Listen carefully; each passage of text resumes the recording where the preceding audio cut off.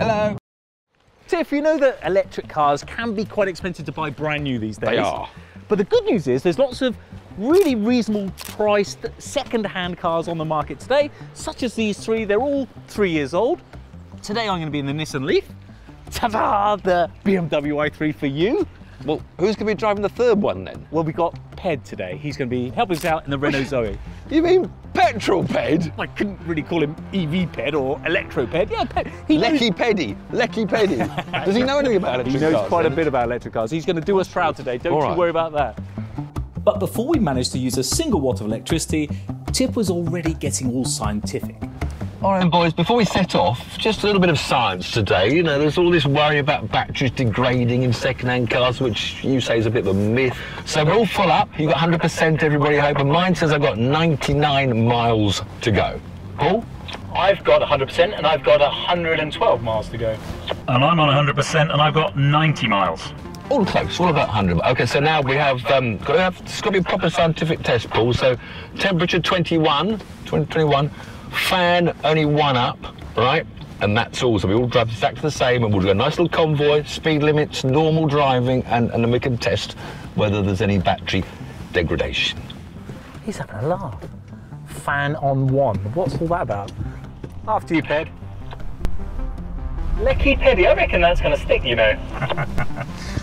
I do need to change the channel name, really. Am I allowed to use windscreen wipers, or will that damage the range too much? I think we all have our wipers on. It is, after all, raining. Wipers on? I've got the whole lot on. I've got my heated front windscreen on, my heated seats on. Yep, I'm afraid I wasn't taking Tiff's test very seriously, which we'll get onto later. Now, though, it was time to hit the road. Now, this i3 I'm in today is the range extender version, which they've actually discontinued at BMW. They brought these i3s in about six and a bit years ago. They've actually sold something like 19,000 of them, of which just over half have been this range extender version, but it's only got a little 33 kilowatt hour battery in it. So it's only got that range of around 100 miles. The new i3s, no range extender, have got a, a bigger battery. They've got now 200 miles range on battery alone. So they've decided it doesn't need the range extender version anymore, which I'm a bit sad about because for some of us petrol heads, it's that range thing that still worries you. You know, it depends on your lifestyle. If you're only going to do 20 miles a day backwards and forwards to work, then brilliant. I'd have an electric car every day myself. But when you're here, there, and everywhere, range still worries you. But anyway, that's another thing.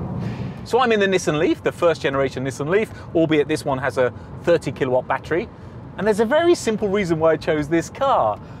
Because despite its pretty unremarkable looks, the Leaf is arguably the most pioneering car since, well, since the Ford Model T. The Leaf was the first affordable, mass produced EV. In fact, since 2010, they've sold almost 500,000 of these things all over the world, making it the best selling electric car in history. So, in other words, the Leaf did for electric cars what the Ford Model T did for combustion engines over a century ago, making it an everyday car for everyday people. So I've brought along a Renault Zoe. Now, these might not have sold in the numbers of Paul's Nissan Leaf, but there's a very good reason for me bringing this car today because I reckon pound for pound, this is probably one of the best value used EVs you can buy. Unless you consider a Renault Twizy, but I really wouldn't want a daily one of those. So these little Renault Zoes were just under £19,000 new, but that included a £5,000 government subsidy. And this used one that I'm sat in is just a smidge over £8,000. So it's had a huge whack of depreciation. That's the kind of argument now, it's kind of had that, and for £8,000, it's a really interesting proposition. This three-year-old car, just over three years, three years and three months, has done 65,000 miles and it absolutely looks like new inside. So very impressed with the, the quality of a, a car that's done so many miles. It's going to be interesting to see whether or not the range promised is dropping. Because one of the, a lot of people say myths about second-hand cars that these batteries don't give the range promised when they were new. So as this has done 65,000 miles, It's going to be interesting to see how much it drops off. I'm misting up a bit now. I'm not allowed to turn my fan up. Just plug my phone in as well. Phone's plugged in, heated seats are on, heaters up more. Tiff wants to try and get scientific and worry about what range we're going to get, but the reality is I want to use this as a normal car because the chances are if you own one of these cars, you're going to charge it up every night and you're going to do a similar sort of journey every day. It's not really a car that you're going to take on a long journey. So it's all a bit irrelevant what Tiff wants. I want to use this car in everyday driving, not to get a specific mileage if I restrict my heating in the car or don't have the radio on. That's not what it's about. You have to say it's a lovely interior to this i3. I've got a nice big sat nav screen in the middle, nice little square, well, rectangular dashboard through the steering wheel. It's a nice place to be. I can't do much except worry about my range. but you wouldn't worry about it. If you know what you're doing each day, it's fine. If you live somewhere where you can plug in overnight, it's just when you want to go for that long trip one weekend, the bank holiday, you want to head to Scotland. Then you've got a lot of planning to do, a lot of fingers crossed that the charging points aren't all taken when you get there. I bet Lecky Peddy's got all this sort of stuff sorted out. He wouldn't be worried about range. Now, interestingly, my range has dropped quite a lot. I'm driving a normal flow of traffic. I'm not doing anything spectacular. And I'm down to 50 miles of range already. Look at that dirty petrol station on the left, guys. It'll never catch on. I mean, who'd have petrol in their name? My range is currently showing 57 miles. Now, interestingly, it dropped really heavily from when we first got in. It went from 90 to 50, but now it's kind of normalized around about 50 and it's going back up again to 58. Well, funny you say that. Mine's actually gone up one mile. I'm up at 100 miles and I started with 99. Maybe if you keep going, maybe you could be the first person ever to generate electricity from nothing. What do they say? Energy can neither be created nor destroyed, but transformed from one form to another. Look, this is Love Cars. This is not, you know, modern sciences program. Please, could you moderate your language to a more understandable level? All right, if you brake, it puts stuff back into your battery and makes you go further. You found our level. You found our level. That's perfect. Now, we should just explain that we later found out the Zoe was in need of a software update from Renault. Apparently, that would have fixed the big drop in predicted range that PED experienced. Worth knowing for any Zoe owners out there.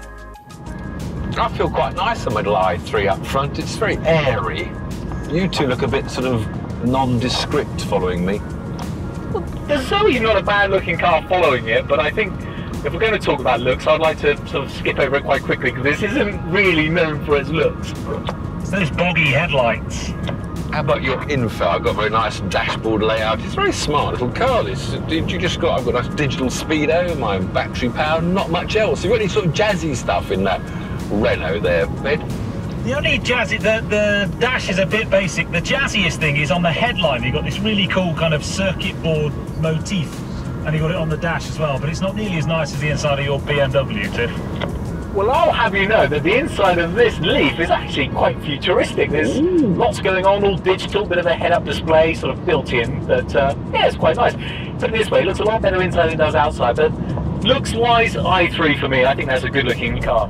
Yeah, challenging looks, but funky. I'll tell you what, driving this BMW, I've noticed this regen. When I lift off, it, it really starts to slow down, regenerating. I don't know whether the brake lights come on because it suddenly slows. So I tell, I tell you what, Ben, if you follow me, we'll both be doing a legal 50 miles an hour, coming to this downhill stretch, and I'll lift off. I'll tell you what I'm going to do it, close that behind me, and then you do the same. Ready, steady, lift off. Your lights are on, but I'm going to have to put my foot on the brakes. Your regen, if that was just regen, that's so much stronger than mine. I bet you nearly the back of me there. Paul, do it quickly, Paul. You both ready, steady, you two. Ready, steady, lift off, you two. I'm just, I'm just regen. That it looks like we're pretty much the same. Yeah, I think that you know this is better than the, the Zoe, but it's and I'm in the more aggressive mode. But uh, the i3, even the brake lights come on the i3, which they don't do with the Zoe. So that's definitely one for driving there. This car's got a 30 kilowatt battery and it's got an 80 kilowatt motor, which equates to about 110 horsepower, giving it a 0 to 62 time in 11.5 seconds and a mouth-watering top speed of 89 miles an hour. But let's be frank, in the UK, you should never be exceeding 70 miles an hour anyway, so it shouldn't even come into play. It's very, very smooth to drive. It's obviously it's very quiet, so you're not going to wake the neighbours up at three o'clock in the morning if you get in from a heavy night out. And I've got a 22 kilowatt battery pack in this car. So if you think about plugging it into, well, even a normal three pin charger at home, which charges just over two kilowatts, that's not too bad to get a full charge. But let's face it, if you had an electric car, you'd probably have a seven kilowatt charger fitted at home. And seven kilowatts is going to give you a full charge in what, four to five hours, which that's certainly an overnight. Come home, plug the car in, wake up in the morning, full battery charge. It's certainly a small car, but it's it's pretty practical in here. I'm a big guy, there's loads of room in the front, there's plenty of space for two adults in the back. And interestingly, the boot space is only just a little bit smaller than the Nissan Leaf, which is a, a much bigger car. And it's much bigger than TIFF's i3. And of course, I'm sitting in something like a racing car. It's got this carbon fibre monocoque construction, which gives great strength. But also, they've got this recycled materials they've used in building the interior, which looks a bit weird, but well, a bit woke, really. Gosh, I've just used the word woke. Look, another one that just went past. Look, an i3. Did you give a wave? Us I, we're not tacky like that, us i3 people. We don't do waving to each other. We just smile smugly at each other.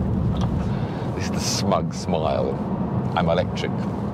I'm electric, you know. Look, no emissions, no emissions me. Hello, no, no emissions. Yes, I know they had to take the batteries from South America. Yes, all right, there's a bit of emissions building the thing in the first place. I could get used to this, you know. It's a really smooth, pleasant way to get around. I think it might be the future. Much like a battery, these three EVs had their positives and their negatives. And with each of them suitably explored, we headed back to talk them through. That was a rather nice little drive in the countryside, wasn't oh, it? enjoyed Very clean Very and pleasant. green. But first up, the answer to our range test. Oh, well, Just that's scientific test of check. yours. Well, Make it's scientific. important to do these things. Come on, Is then. it a myth that batteries degrade?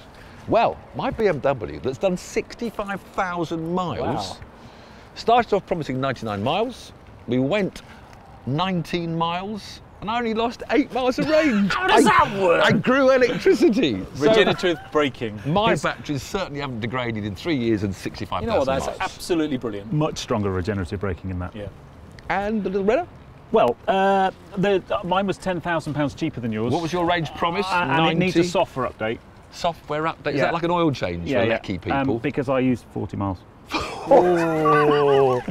40 miles on That- 19. That literally went from 90 miles to 50 miles in the first two miles, and then it kind of stayed at sort of 50 to 60 But if you set off on a 60 mile jolly, you'd be getting worried. Ah, But maybe. you know, the important thing to remember is it does need a software upgrade. it does so need a software update, which is uh, I'm and deflecting one for you there, Ped, because I'm, Cheers, mate. Yes, I'm so- coming so, over all right, to. Let's move on to the Nissan. Put us out of our misery. Come on. How many miles did you use up? Well, I've got 88 miles left, which That means I used you- 24 20. miles. Well, that's still not good. 19 miles, you used 24. But there's a little secret because, unlike you, fan number one, 21 degrees, I had my heating on full, charging my phone, You elec- heated seats on. I It was, was so a scientific test. No, it wasn't. It's a real world test. Real the, the- world. the test today, Tiff, is all about would you buy a second-hand EV, and that's the test. For me, Ped, what would you? I, I, I think, yeah. I mean, uh, if you live in a city, your average journey is probably 20, 30 miles, so range really. If you live all in a city cars and you've got somewhere to plug Well, it in, yeah, but that's true. Kind Very of true. multi-story high rise, how are you going to plug it into a high Infrastructure is True. challenging at the moment. It, it is. Uh, but, or if you have a second car, and if you have a second car, because and the these drive are, to put two cars on. yeah, well, you you'll have your massive big long drive outside your mansion, so you'll be all right, you know. But you're right. Um, for, for me personally, I, I agree with you there. Same sort of route. Second car, absolutely no question. First car, bit challenging for me. they make a great second car, but the, the challenge of buying a new one is they're quite expensive. But these are all reasonably, you know, eight thousand That's quid. not reasonable. It's Come on still then, are you converted as as our Ped and I, Lecky Ped and not myself? yet. I appreciate this is the way we're going. Maybe hydrogen will come in in 10, 15 years' time. We don't know for full. It's still too expensive. Like the new cars are very expensive.